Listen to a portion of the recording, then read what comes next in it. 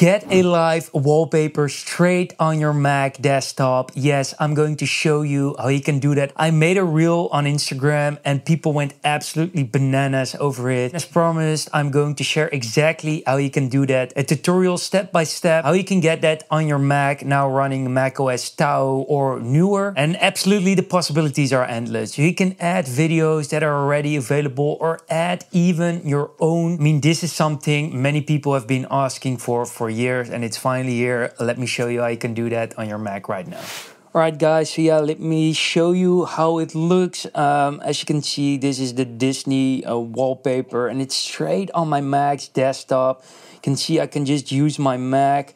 Uh, I can open Safari, I can just work and it's running in the background just like that can just go to apple.com and as you can see it's just still running in the background. How cool is that? And there are a bunch of awesome uh, wallpapers that people created. And basically you can upload anything you want. There's for instance also this one from the formula one a very popular one. I shared this one on my instagram and people went crazy over it I mean, it really looks good on um, your desktop, on your wallpaper, and you can actually add any footage you want. And the tool or app that I've been using that I found that allows you to do this is called Wallper. Sounds a little bit weird. I reached out to them and they're working on some incredible cool stuff. Basically, if you go to Wallper.app. This is the tool that I'm talking about that you absolutely need. There's just a free version and a pro version. I'm using the pro version and I have an awesome discount code. So I reached out to developers and said that I love their application and they actually gave me a discount code to share with my subscribers. And as you can see, Wallper is actually really made for macOS, GPU accelerated live stats, macOS native and open source. Open source is great. People can also make make adjustments if needed and you can explore it in GitHub. But maybe the coolest feature is that you can upload your own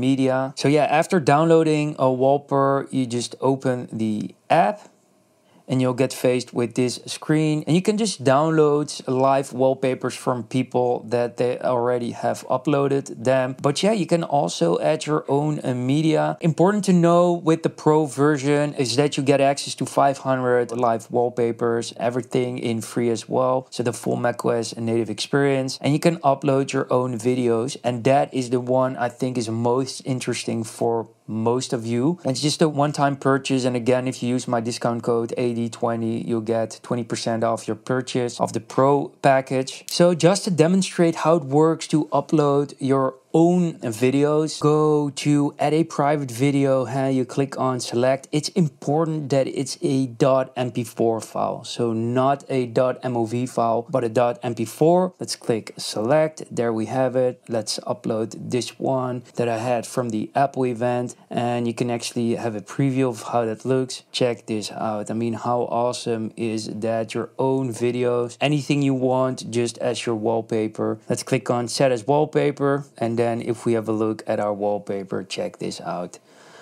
our own video in the background running. How cool is that? Obviously, no audio is there. But yeah, that is how you can add a live wallpaper to your desktop on a Mac. An absolute game changer. I'm in contact with the developers as well. They're going to improve a lot of things here. Also have it on your uh, lock screen on Mac. So let's say, for example, now I go into uh, the lock screen. As you can see, it's not the same, but this is going to change. And and yeah right now it's only as a desktop wallpaper i hope this was helpful make sure to share this with your friends and family subscribe hit the bell icon like this video and see you in the next one peace